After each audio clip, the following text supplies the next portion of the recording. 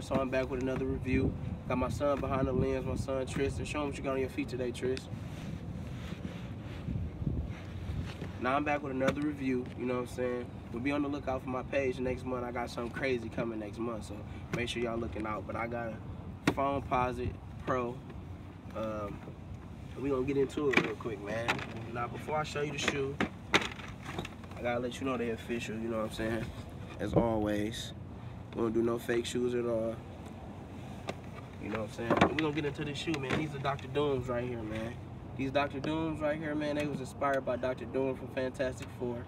That's the colorway, you know what I'm saying? They got the white bottom. I like the white bottom because they easy to keep clean. As long as you wipe them off every time you wear them, you good, you know what I'm saying? You got your black Nike swoosh on the bottom. You got Nike Air Zoom written in on the bottom, carbon fiber, of course, on the bottom. You got your carbon fiber on the side. You got your jewel white swoosh. It actually brings out the black. Black laces, of course. Got your mesh tongue with the white stripe going down. You know what I'm saying? You got your Nike air bubble on the toe. You got your Nike swoosh stitched in, man, over this full grain leather right here. You know, all this material through here, all at the top, and even going to the back right here, this full grain leather. You got your Nike sign stitched in. You got foam Foamposite wrote on your pull strap right here, man. On the inside, you got your white swoosh. Say air. You know what I'm saying? It's pretty much a chill shoe to me, man. You know what I'm saying? That's why I bought them. Throw them on with a little jogging suit or something like that.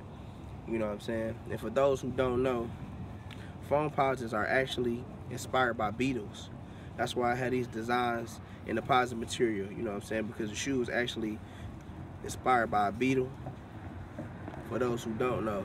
And you know me, man, Marso I'm gonna give y'all a quick on foot. You know what I'm saying? Let y'all see how they look on foot, man. Excuse my slippers, I was in the house today, I was chilling. But you know, I wanted to give y'all this little review, man. These was, like I said, these are my first phone Foamposites I ever bought right here.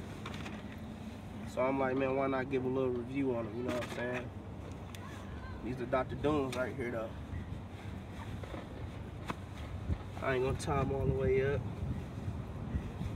Tuck the laces in so y'all can get this quick, quick on foot, man. These are Dr. Dooms right here, man.